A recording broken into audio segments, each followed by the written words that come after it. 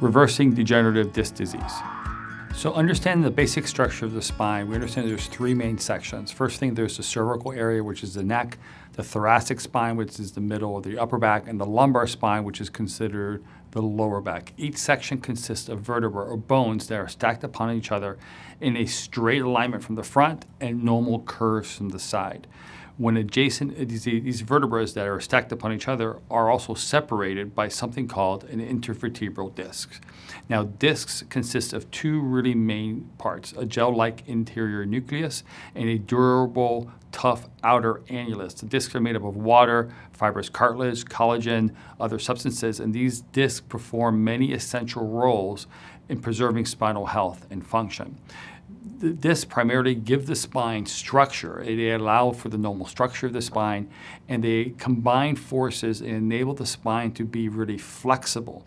They provide cushioning between the vertebrae, but they're not really designed to really bear a tremendous amount of weight, which I'll explain in a second. And they kind of act like a shock absorber or a spacer between these bones. So exits between these bones are something called spinal nerves. So when discs are nice, healthy, and healthy position, everything's in the right alignment, the spinal nerves are not interfered with as they go through the spinal cord, through when they exit out through the spine or the spinal cord into the body, and they go out through something called intervertebral foramen or IVFs. Now, when discs become degenerative or degenerative disc disease or something called DDD, the disc first thing that start to happen is they get thinner, and discs can be very affected by uh, by spinal alignment these discs begin to deteriorate or they become thinner or less dehydrated, which we'll talk about in a second. And as these discs deteriorate, they become something called disc desiccated and they bulge and they herniate. So the first step happens is that something happens for the spine to typically shift out of its normal alignment. When it shifts out of its normal alignment, it puts more weight or more pressure on one side of the disc versus the other. This tends to squeeze some of the water out of this disc. At this stage, this is only a response to the alignment. At this stage, it, this can be diagnosed as very mild degenerative disc disease. If things are realigned and you rehydrate the disc better, this, the, the progression of this process stops to occur. But however, if it stays in alignment, this disc now starts to go through a degenerative phase, and now it starts to lose physical height. and now starts to affect the position of the bones above and below, and the spine actually now becomes misaligned as a result of, uh, further misaligned as a result of this. But normally alignment tends to be the first thing, and then as a result of it, the discs begin to deteriorate. This develops slowly over time and progresses slowly over time, and therefore symptoms tend to come on slowly over time. The first thing can be stiffness and lack of mobility. Then it can lead to kind of dull back pain or dull pain in the area of degeneration. As it starts to compress further, it can start affecting radicular pain felt into the neck, arms, hips, legs, and things like sciatica. Now, the question we get asked is disc disease reversible? Well, kind of. It can be kind of reversed in early stages or dealt with in early stages. But once degenerative disc disease starts to occur, it becomes much more difficult to reverse as it becomes more severe because degenerative disc disease is not really a disease. It's not something that you catch. It's not something that's that you're afflicted with. It is a response to abnormal alignment that causes these discs to deteriorate like kind of like an unaligned car. Spinal discs, unfortunately, once you're through your growth stage and an adult, they're the largest structures in the body that don't actually have any type of vascular supply. They have very little blood supply, so therefore they can't regenerate properly or heal properly because they don't have good blood supply.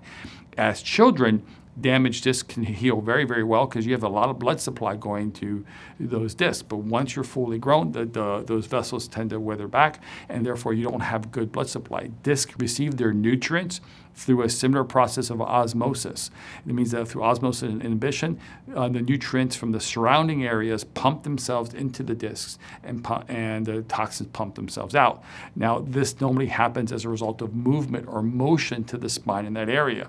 But once discs become deteriorated, they become stiffer. And once they become stiffer, the bones don't move well. And since the bones don't move well, they don't receive nutrients like they're supposed to, which further complicates the issue and leads to more disc degeneration. So this is why we're saying that complete reversal is, is very, very, very unlikely because by the time this has happened, your, your spine can't do what it needs to do to get the nutrients into that area. So therefore, the best way to treat degenerative disc disease is to have an to have a treatment process that's going to deal with the underlying cause. And the underlying cause is typically flexibility of that joint or of that area, and in addition, alignment, structural alignment. Both those things have to be dealt with so the disc has a chance of regenerating and healing some.